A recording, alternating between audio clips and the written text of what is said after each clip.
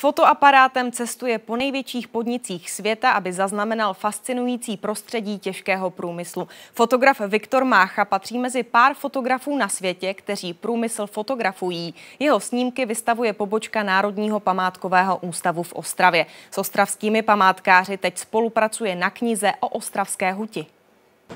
V ostravské huti Liberty Steel fotografoval už mnohokrát. Průmyslové podniky sleduje hledáčkem zvenku i uvnitř.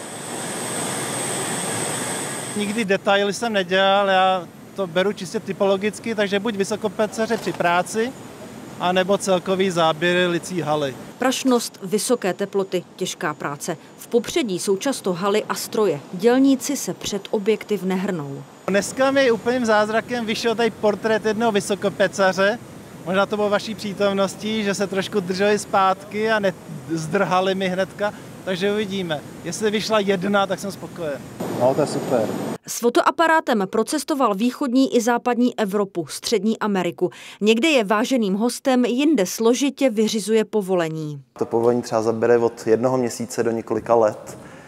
Nejlehčí je to na Ukrajině a v Rusku. Tam jdete hned, ale takový ty státy jako Rakousko, Velká Británie, katastrofa. Fotografuje koksovny, hutě, doly, ocelárny. Jsou ale místa, kam stále nemůže. Do Číny, do Indie, do Japonska je nemožný dostat. Já jsem to zkoušel i přes velvyslanectví, přes ambasády, ale opravdu ta zeď, ta bariéra je tak vysoká, že se nedá překonat. Doma má stovky negativů a tisíce digitálních snímků. Na stejná místa se vrací.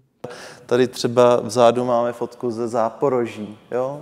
Slévač vůbec nevěděl, že tam jsem. Já jsem tam byl v klídku, chráněný před žárem za takovým eh, jeřábem a on si tam v klidu odléval ty ingotové formy. Ostravská výstava vystudovaného teologa a religionisty je průřezem jeho práce za posledních 12 let. Je to mystérium, před kterým se člověk třese, ale zároveň ho fascinuje. A jít se na to podívejte. Taková masa oceli, gigant, který dává vzniknout něčemu úplně novému. Jeho snímky ukazují, jak se průmysl nejen mění, ale také jak postupně zaniká a mizí. Každá továrna je trochu jiná. Co zůstává, je těžká práce. Helena Dohnalová, Česká televize. A to byla